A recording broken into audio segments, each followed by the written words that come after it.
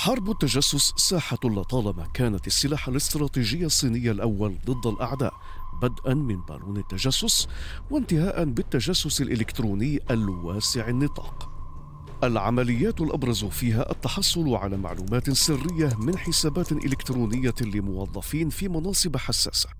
تقرير لشركة تابعة لجوجل حمل مجموعة مهاجمين سيبرانيين يرتبطون بالصين مسؤولية حملة واسعة من التجسس المعلوماتي طالت 16 جهة خاصة وعامة في أنحاء العالم وصفها خبراء بالأكبر منذ عام 2021 تنشط تلك الخلايا التجسسية في مناطق تعد هدفا مباشرا للقضايا ذات الأولوية القصوى للصين بين ضحايا وزارات خارجية بلدان منتمية إلى رابطة دول جنوب شرق آسيا ومنظمات بحثية وبعثات تجارية خارجية مقرها تايوان وهونغ كونغ.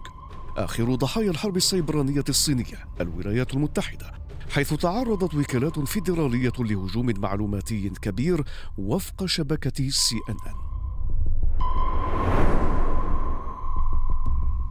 يزداد قلق الدول الغربية حيال مناورات بكين في الفضاء الإلكتروني وتزداد معها الاتهامات المتبادلة التي لطالما نفتها الخارجية الصينية واتخذت موقع الضحية. آخرها أوائل يونيو الجاري حيث نفت بكين اتهامات باستغلالها جزيرة كوبا كمركز تنصت إلكتروني ووصفت حينها الصين تصريحات مسؤولين أمريكيين بالشائعات والافتراء. لمتابعة المزيد من الأخبار والبرامج والقصص الإنسانية والوثائقيات والتقارير الإخبارية.